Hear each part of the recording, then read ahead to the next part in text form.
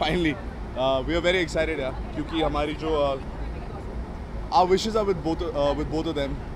Prince और युविका को काफ़ी टाइम से जानते हैं मैं प्रिंस को तो बहुत टाइम से जानता हूँ। Uh, जब उसने पहली बार uh, युविका का ज़िक्र किया था जिस तरीके से किया था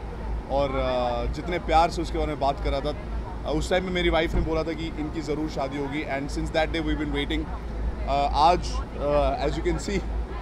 पसीनों uh, पसीनों में हम लोग एकदम लथपथ है बिकॉज़ भाई की बारात है दोस्त की बारात है उस पर खूब डांस किया हमने। अभी अंदर भी बहुत uh, uh, नाच गाना चल रहा है। We're enjoying we celebrating two people coming together and जब वो अपनी फैमिली में ही हो इट्स अमेजिंग सारे रीति रिवाज धीरे धीरे पूरे कर रहे हैं बिकॉज़ ऑल दी एल्डर्स उनके लिए बहुत इंपॉर्टेंट होते हैं। So I like the fact that a lot of our friends are here और uh, सब इस सेलिब्रेशन में शामिल हो रहे हैं। uh, प्रिविका जैसे कि आपने नाम रखा है इट्स इट्स ऑल्सो लाइक जो भी मतलब फोटोग्राफ वगैरह डाल रहे हैं तो वी कैन सी कि क्या क्या हो रहा है through through that hashtag and we are really happy है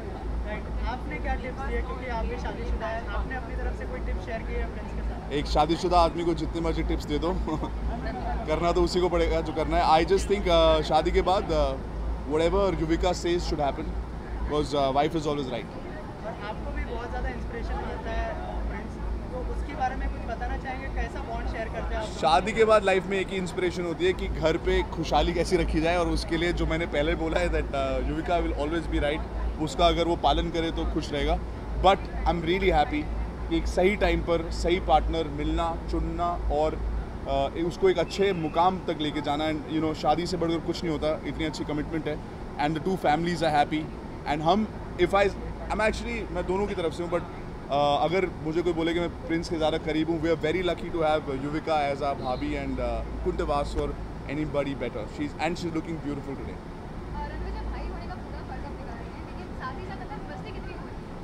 actually जो जो पहला सवाल का पहले uh, जो पार्ट है वो कि भाई होने के बहुत सारे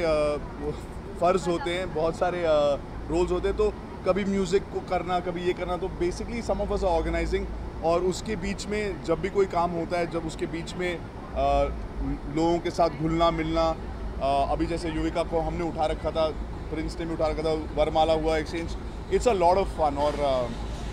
आई ये ये मोमेंट्स बाद में नहीं आते। एंड दैट्स वाई आज आज की दुनिया में मैंने देखा है कि लोग फोटोग्राफ्स और वीडियोज़ में बहुत